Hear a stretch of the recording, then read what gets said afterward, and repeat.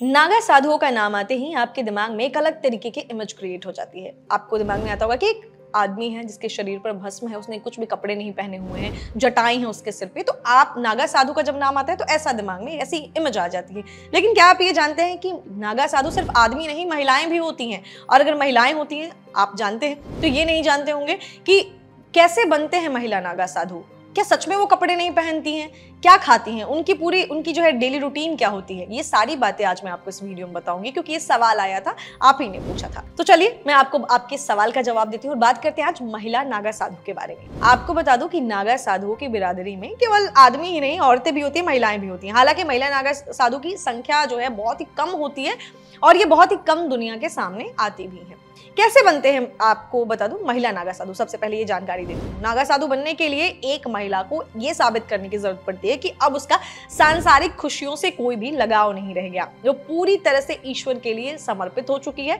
अगर उनके दिनचर्या की बात करें तो हर दिन सुबह जो है उनको स्नान करना होता है, उसका शुद्ध होकर महिला, नागा सन्यासिनियों की जो है साधना वो शुरू करनी होती है। इसके बाद वो पूरे दिन भगवान का जाप करती हैं हर सुबह उठकर शिव जी की आराधना करनी होती है और फिर शाम को भगवान दत्तात्रेय की पूजा करनी होती है।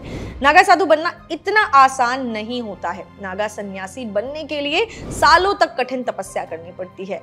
इंसान को जीते जी अपना पिंड दान करना पड़ता है, सिर मुंडवाना पड़ता है, अपने परिवार से दूर रहना पड़ता है और तब कहीं जाकर कोई महिला नागा साधु बनती है। ये महिला नागा साधु दुनिया से दूर, जंगलों, गुफाओं, पहाड़ों पर रहती हैं और भगवान की भक्ति में लीन रहती हैं। तो ये तो आप जान गए कि कैसे एक महिला नागा साधु बनती है। अब आप सोच रहे हैं कि क्या पहनती हैं? तो आपको बता दूँ कि पुरुषों की तरह महिला नागा साधु निर्वस्त्र नहीं रहती हैं, बल्कि वे कपड़े भी पहनती हैं। नागा साधु जो है, जटाए रखती हैं, माथे पर तिलक लगाती हैं और शरीर पर राख लपेटती हैं, यानी कि बाकी नागा साधुओं की तरह रहती हैं। लेकिन बिना कपड़ों के रहने के बजाय वो गेरुए रंग का एक वस्त्र भी धारण करती हैं।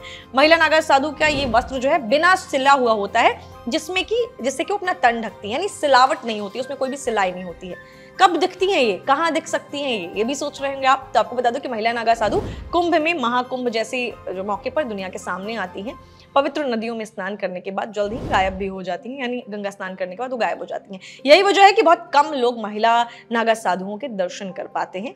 आपको बहुत सारे जो है, अगर आप देखेंगे तो इंटरनेट पर भी महिला नागा साधु की फ़ोटोज़ भी बहुत कम है। तो आपको मैंने आज इस वीडियो में जानकारी दी कि महिला नागा साधु जो है कैसे बनते हैं, कोई महिला नागा साधु कैसे बन जाती है और क्या नागा मतलब वो निर्वस्त्र रहती हैं, महिला नागा साधु क्या कोई कपड़े नहीं पहनती हैं, ये भी मैंने आपको बताया। उनका डेली रूटीन क्या होता है, दिनचर्या क्या होती है, ये भी मैंने आपको जानकारी दी। कुछ चीज़ अगर मेरे से मिस हो गई है और आप जानना चाहते हैं तो कमेंट सेक्शन में लिख दीजिए। मैं आपको आने वाली वीडियोस के थ्रू महिला नागा साधु के बारे में ज़रूर जानकारी दूँगी।